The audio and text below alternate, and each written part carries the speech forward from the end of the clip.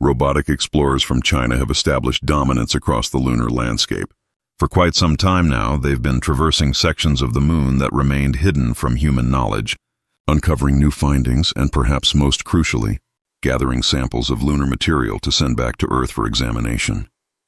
Within these specimens, the Chinese researchers made a breakthrough, something unprecedented. This discovery promises not merely to reshape our comprehension of the moon, but potentially to alter the trajectory of life on our own world. What makes studying the moon so compelling is this paradox. The deeper our understanding grows, the more enigmatic it becomes. Our planet presents peculiarities that extend beyond its human inhabitants. Earth behaves distinctly from other terrestrial planets within the inner solar system, and our celestial companion bears much of the responsibility for this deviation. Venus stands as the most similar planet to Earth in our solar system. Its dimensions and mass are nearly identical to our own. Yet Venus orbits alone without a moon. Mars, too, shares considerable similarities with Earth. Though diminished in size, roughly half our planet's proportions, Mars does have lunar companions, though they're remarkably small. Few people fully comprehend just how tiny these Martian moons truly are. The larger of Mars's two moons spans merely 22 kilometers across, while the smaller extends just 12 kilometers. Both could comfortably fit within the boundaries of Chicago. When examining the outer gas giants, they possess substantial moons, yet these planets themselves dwarf the Earth by enormous measures. Jupiter surpasses Earth in mass by a factor of 318, and yet its satellite system remains comparable in size to our own. This peculiarity is indeed perplexing, and researchers continue to investigate the mechanisms by which Earth arrived at such an exceptional arrangement. Lunar study provides the key to unraveling this mystery. During the 1960s and 1970s, when NASA sent its astronauts to traverse the lunar terrain, they transported substantial quantities of moon rocks and dust back to our laboratories. Scientists making their initial analyses discovered something startling. The lunar stones exhibited the very same properties as terrestrial rocks. This finding was wholly surprising. Should the two celestial bodies have originated independently, their compositions would necessarily differ. They would resemble two strangers who happened to encounter each other in space and became gravitationally bound. Such a dynamic characterizes most planetary relationships. However, if Earth and the Moon possess such striking similarities, they must have originated simultaneously in the same location. But was such a scenario feasible? Following the Apollo expeditions, researchers developed the prevailing explanation. Earth had experienced a collision with a rogue planet comparable in size to Mars. This catastrophic event would have transpired merely a few hundred million years after the solar system's formation. The precise circumstances of this cosmic impact remained contentious among scientists for decades. However, just a short time ago, this scenario was processed through an advanced supercomputer. The machine executed countless simulations until discovering a result that aligned with every observable detail regarding Earth and our moon. We refer to this computational finding as the Big Splash. The tremendous energy released during impact transformed both worlds into liquid states, and the collision's force ejected a substantial portion of primordial Earth into the void, whereas the rogue planet's bulk merged with Earth and sank toward its interior. Thus, the moon functioned essentially as a smaller version of our world that separated and then progressed alongside its parent body, eventually cooling and hardening into the rocky landscapes we observe today. Despite their fundamental similarities, the moon represents an entirely different world compared to Earth. Everything described represents our best current understanding, though it remains theoretical rather than definitively proven. Nonetheless, this framework illuminates an important principle. As we learn more about the moon's formation, we simultaneously gain insight into Earth's own genesis. Over the past five years, it has been China's space program that has led the charge in advancing lunar science. They have dedicated enormous resources, time, personnel, and capital to deploy mechanical explorers to the moon's surface and pursue answers to these profound questions. Our examination begins at the moon's far side, a region that has captivated Chinese researchers they achieved a historic first by reaching this remote area, and they have successfully transported specimens back to laboratories on Earth where they continue to be analyzed. Contrary to what cultural references or popular fiction might suggest, this is not the perpetually dark hemisphere. It receives abundant sunlight. The distinction lies in the fact that we never observe it from Earth, as it continuously faces away from us. Theoretically, the two hemispheres should display minimal variation. Reality, however, contradicts this expectation.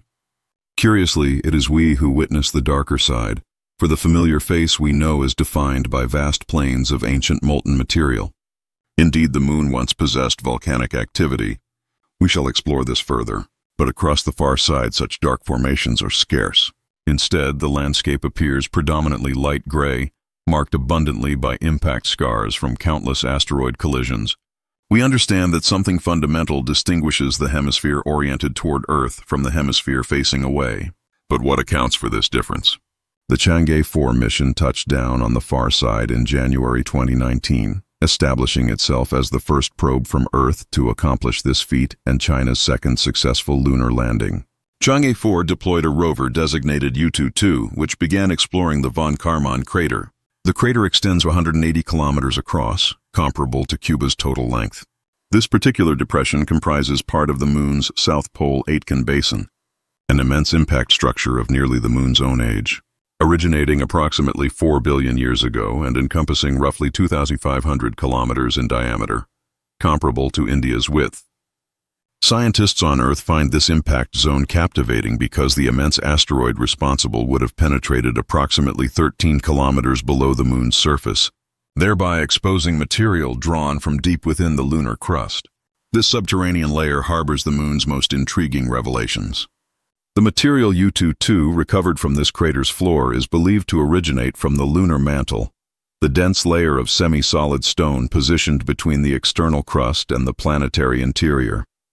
This represented a watershed moment. Rock from the mantle had never before been discovered on the moon, having never appeared among samples brought back by Apollo astronauts. This discovery sufficiently sparked the imagination of Earth-based scientists and fueled their appetite for additional findings from the far side. Regarding fascination, Yutu-2 documented something decidedly peculiar on the lunar surface in December 2021. Its imaging equipment captured what appeared to be a cuboid, object visible in the distance, something distinctly artificial in appearance. Could this represent the monolith predicted by Stanley Kubrick in his film 2001, A Space Odyssey? The answer was no, merely a rock. However, for approximately two weeks, the discovery succeeded in captivating global attention. What observers witnessed was an optical illusion produced by interacting light and shadow, compounded by the reality that electronic imaging relies on square pixels. Consequently, anything displayed at reduced resolution inherently projects geometric characteristics until sufficient proximity allows visualization of its genuine configuration. Regardless, these circumstances led to a return mission to the lunar far side in 2024 via Chang'e 5. The spacecraft established itself at the South Pole Aitken Basin, replicating the previous location with one critical distinction, this time the Chinese team would gather specimens and transport them to Earth.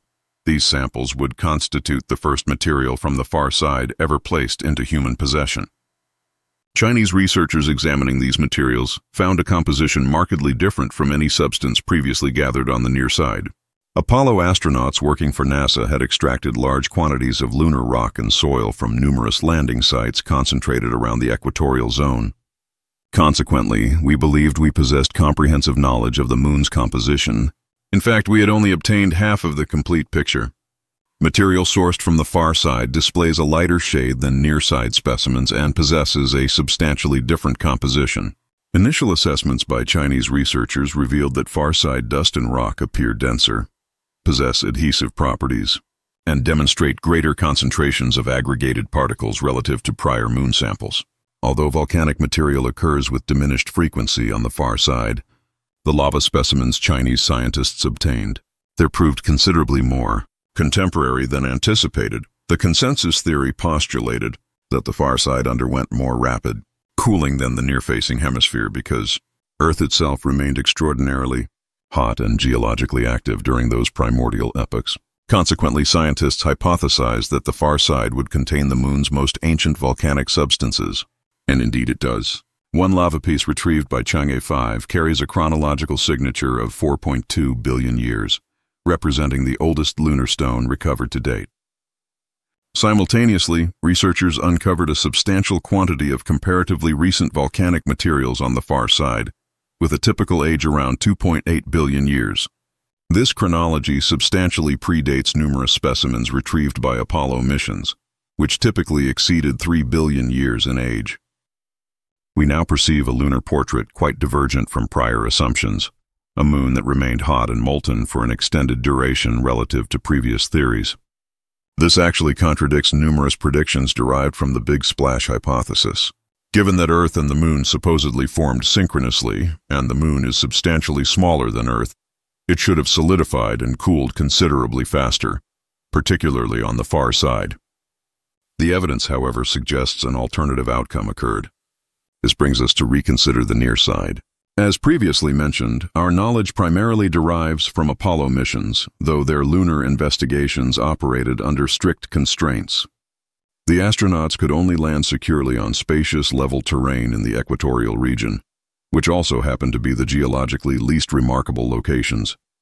Even with three Apollo teams operating vehicles across the lunar surface, their collective exploration encompassed approximately 25 square kilometers.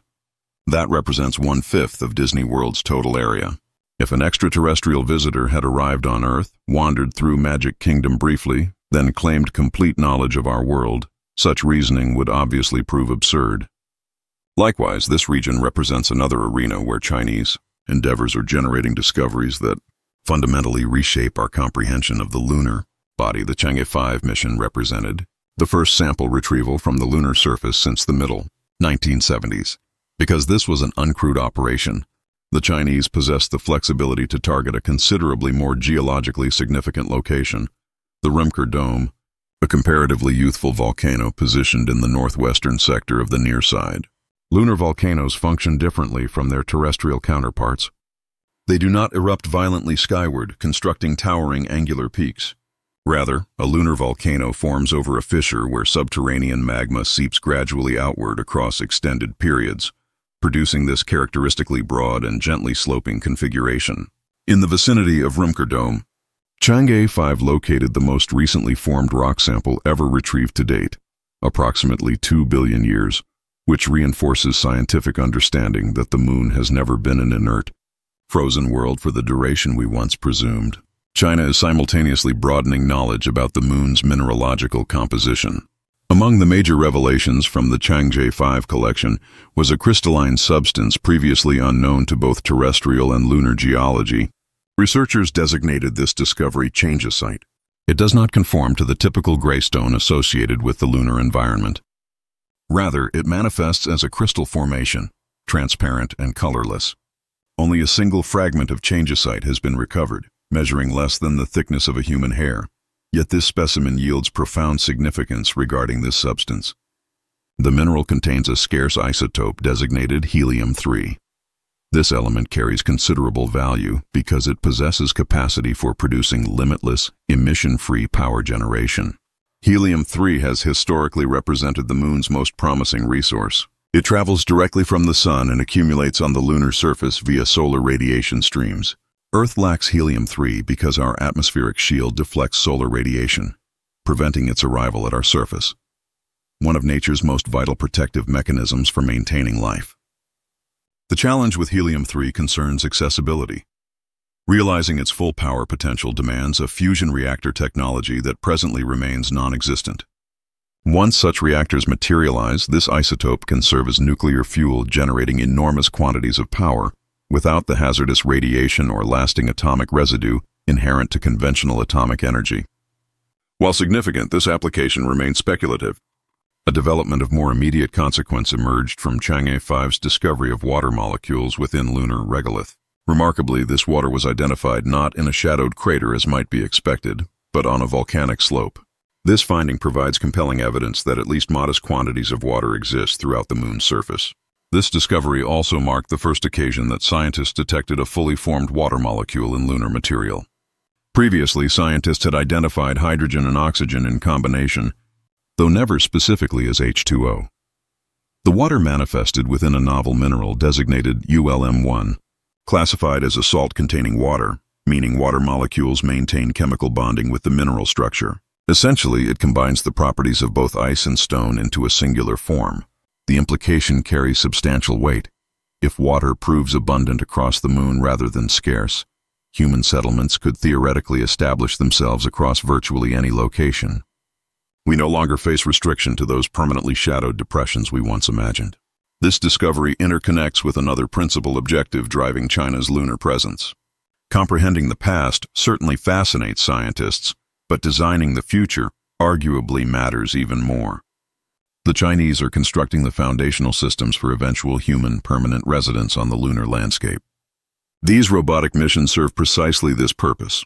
NASA achieved its historical success by depositing astronauts on the moon with minimal preparation, feasible only because those expeditions lasted mere days. Establishing a permanent lunar settlement demands fundamentally different thinking. One must thoroughly investigate the lunar environment. At present, China leads the international community in this endeavor.